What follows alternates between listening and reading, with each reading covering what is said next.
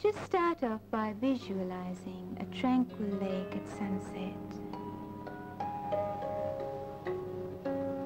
Creatively visualize dew at morn. Imagine feeling the quiet stillness as a leaf is born.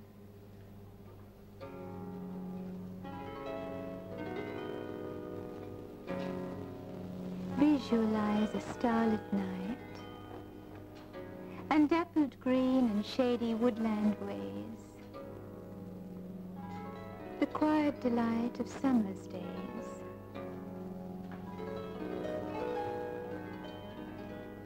A peaceful room at eventide. A mare with foal close by her side.